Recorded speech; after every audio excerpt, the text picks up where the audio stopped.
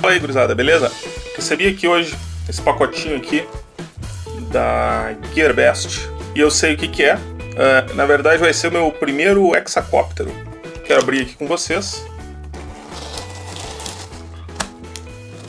É evidente que eu estou abrindo pelo lado errado, eu sempre faço isso. Mas olha que maravilha. Olha o tamanho do negócio. Esse aqui para lá. Bom, eu sabia que ele era pequeno, mas não sabia que era tão pequenininho. Eu olhava essa foto aqui, tá aparecendo aí, do site, imaginei para do tamanho de uma mão. O que me chamou a atenção nesse quadricóptero aqui uh, não foi nem a questão do tamanho. Bom, também a questão do tamanho. Pessoal, desculpa interromper o vídeo de vocês aí, tá? Eu tive que fazer uh, essa interrupção. Eu ia citar algumas características que esse modelinho aí tem, que constam no site da Gearbest, como vocês podem ver aí, são a função de Return to Home e a função de Headless Mode tá? que são características uh, notadamente de modelos com GPS, né? Esse aí evidentemente não possui GPS, mas como entusiasta às vezes tu quer acreditar no negócio, né? Sei lá, já comecei a pensar que pudesse ter um medidor de RSSI ou alguma outra coisa que soubesse para que lado que tá o rádio. Não sei, tá? Então, já avisei o pessoal do GearBest que a informação no site deles está errada, tá? Não desmerecem nada o equipamento, continua sendo um bom brinquedo, mas tem esse detalhe aí. Quem olhar lá vai ver essa função já saiba que não tem tá? Segue o vídeo aí, falou. Então aí tá o quadricóptero em si, que tem uma caixinha que deve ter o resto das coisas. Aqui um rádio, muito semelhante a outros uh, mini drones aí, micro drones disponíveis. Cabinho para carga, hélices de reserva, podem ver aqui, ó hélicezinha de reserva, cabinho para carregar, manual e aqui então o sujeitinho. Bateria interna, né? ou seja, não adianta comprar outras baterias. Nada de ruim nisso aí, né? Eh, esse aqui é um, um outro exemplo, né? Bateria interna. É legal igual. Mas aí, pessoal, como é que eu vou dele então na prática? Liga aqui, liga o radinho. Ele vai calibrar. Aqui não vai funcionar porque eu tô com ele na mão, então ele não consegue calibrar, tá? Mas eu vou precisar colocar aqui pra cima. Ó, até que deu. Coloco de novo e volto, não sei porquê.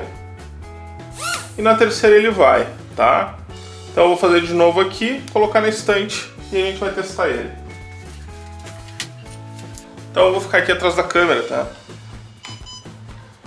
Então decolar com ele.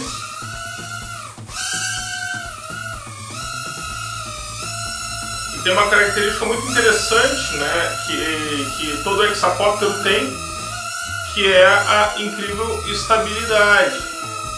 E uma coisa muito bacana dele é aqui a questão da, dos modos de voo. Então eu consigo apertando aqui tornar ele muito mais ágil, né?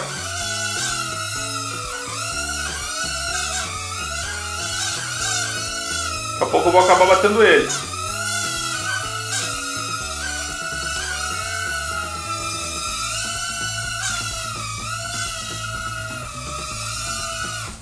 O legal desse carinha aqui, uh, principalmente para quem está começando, é que não tem muita diferença entre tu pilotar um, um multirotor desse tamanho aqui e tu pilotar um multirotor uh, de um porte maior, não no sentido de características dinâmicas, mas sim no sentido de conseguir gerenciar onde é que é a frente, para que lado que tu mexe aqui quando ele está virado para ti, quando ele está virado para frente. E nesse aspecto é muito legal, porque ele é muito resistente. Eu posso pegar ele, tocar no chão, ele não vai quebrar. Vocês viram como ele é resistente? Uma outra coisa bacana nele é que ele tem três modos de voo, o low, o médio e o high. Esse aqui é o modo low, vocês estão vendo que eu dou comando e as reações dele são bem tranquilas. Se eu apertar esse botão aqui, ele passou para o modo intermediário. E aí as reações dele já começam a ficar mais espertas. E se eu colocar no modo high, ele vai funcionar também de forma muito esperta E se eu colocar uh, esse comando aqui até o máximo em qualquer uma das posições, ele vai fazer um flip. Vocês vão ver que ele tem um probleminha, que ele perde muita altitude quando ele faz um flip. Eu vou fazer aqui agora, vamos ver se eu consigo. É, vocês viram, ele foi até o chão, encostou no chão e virou. Vou tentar de novo.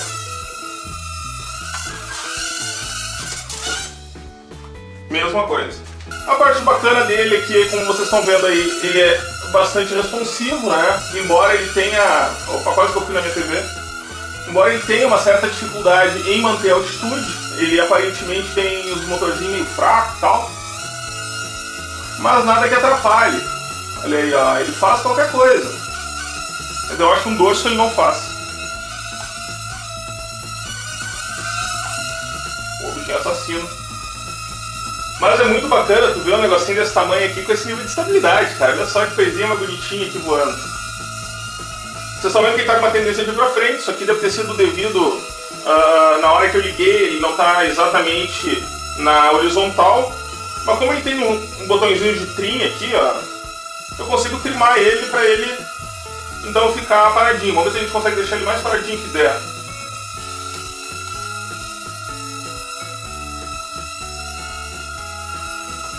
A bateria dele, ó, é de aproximadamente 5 minutos a duração do voo. E ela começou a acabar agora. Ó. Depois que começou a piscar, tem uns 15 segundos para pousar ele. Então, é, praticamente todo mundo já teve um, um quadricópterozinho pequenininho assim, é, mas é muito interessante também um hexacóptero. Eu tenho um quadricópterozinho, o movimento do quadricóptero nem de longe é tão exato quanto esse aqui. Os únicos problemas dele realmente são que a potência dele deixa um pouquinho a desejar, tu vai fazer um flip ele vai cair. Se tu quiser dar pro teu filho, por exemplo, ele vai ter que ir pra rua para fazer um flip. Uh, e uma outra coisa é a questão do alcance.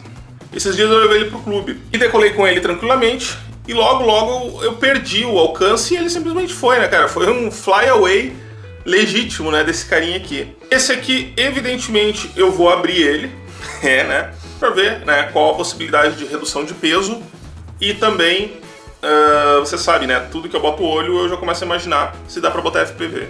Acho que é muito pequenininho. Mesmo que desse, ficaria uma coisa muito conceitual, não seria muito divertido. Mas é isso então, pessoal. Tá aí uma boa opção aí para quem quer um, um brinquedinho, uh, para quem quer comparar a diferença de estabilidade, a diferença de precisão do hexacóptero para um quadricóptero, também é uma excelente opção. Era isso então, espero que tenham gostado e vamos em frente. Falou, gurizada, um abraço.